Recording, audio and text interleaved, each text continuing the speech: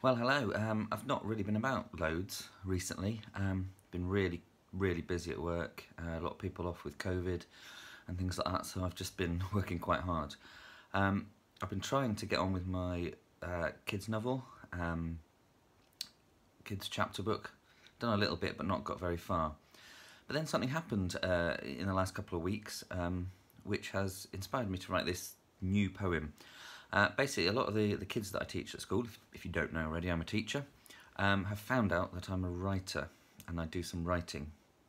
Uh, yeah, I don't know quite how I feel about that. In one way, quite excited. I want to show them they can be whatever they want to be, they can do what they want, and they don't just have to be one thing, they can have other hobbies.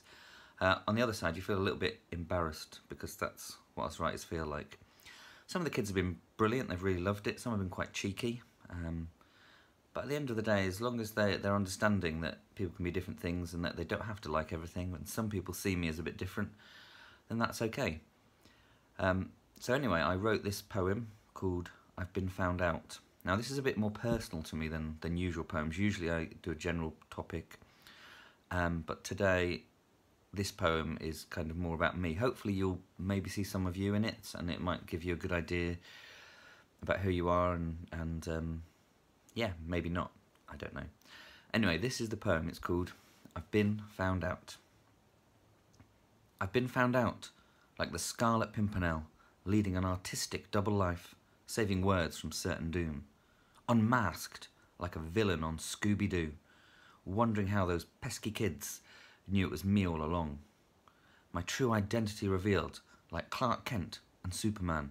The glasses are off, and the real me exposed seen as more than I was, like Mary Westmacott. Though I do one job well, there is more than meets the eye. I can't wipe their memories like the men in black.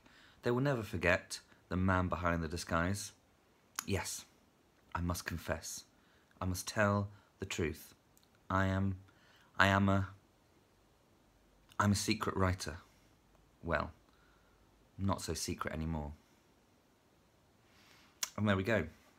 Hopefully you enjoyed that and hopefully if you've got some sort of hobby that's maybe a little bit of a secret um, then uh, yeah maybe you'll realize that some people might laugh some people might think it's strange but other people will say oh well done good work. Um, in my case uh, a lot of the finding has been from this YouTube channel okay? And there's there'll be kids now watching this and thinking oh yeah that was, that was me that it's because of me that he's written that poem. Um, and fair enough. But just respect other people uh, and what they like and what they enjoy doing. And yeah, hopefully it'll be great. Hopefully soon I will have more poetry for you and I will have uh, maybe a new book out. I can't guarantee that'll be anytime soon. Bye.